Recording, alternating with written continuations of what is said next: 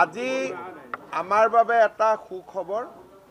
কংগ্ৰেছ বিধায়িনী দলৰ দুগৰাকী অন্যতম সদস্য কমলাক্ষ দেৱ পুৰকায়স্থ আৰু বসন্ত দাস ডাঙৰীয়াই প্ৰধানমন্ত্ৰী নৰেন্দ্ৰ মোদী ডাঙৰীয়াৰ নেতৃত্বৰ প্ৰতি সন্মান জনায় আৰু ভাৰত চৰকাৰ আৰু অসম চৰকাৰে নিৰন্তৰভাৱে জনসাধাৰণৰ বাবে কৰি অহা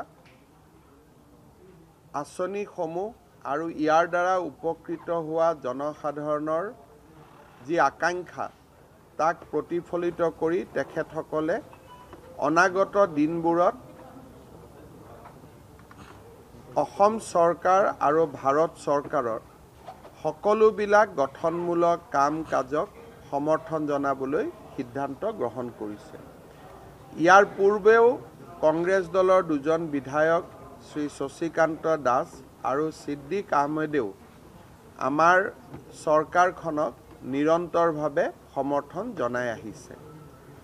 আজি বসন্ত দাস ডাঙৰীয়া আৰু কমলাক্ষ দেৱ পুৰকায়স্থ ডাঙৰীয়ায়ো চৰকাৰক সমৰ্থন জনোৱা সিদ্ধান্ত লোৱাৰ পিছত আমাৰ চৰকাৰখন আৰু অধিক শক্তিশালী হ'ব। আমি সকলোৱে জানো যে কংগ্ৰেছ দলৰ কাৰ্যকৰী সভাপতিৰ দায়িত্বটো কমলাক্ষ কমলাক্ষ দেৱ পুৰকায়স্থ ডাঙৰীয়া আছিলে।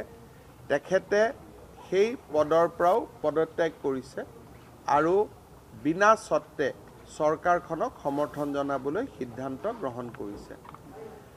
ই আমাক জনসাধাৰণৰ বাবে কাম কৰিবৰ বাবে আমাক শক্তি দিব আৰু আমাৰ জনসাধাৰণৰ বাবে কাম কৰাৰ সংকল্পক আৰু অধিক গতিশীল আৰু শক্তিশালী কৰিব।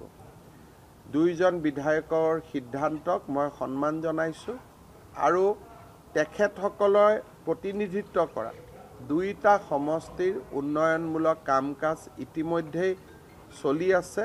কিন্তু তাৰ লগত অনাগত দিনত দুয়োজন বিধায়কৰ লগত আমি সকলো মন্ত্ৰী বিধায়কে একেলগে কাম কৰি নৰ্থ কৰিমগঞ্জ আৰু মঙলদৈ যাতে আমি বিশেষ উন্নতি কৰিব পাৰোঁ, তাৰ বাবেও আমি যত্নবান হ'ম।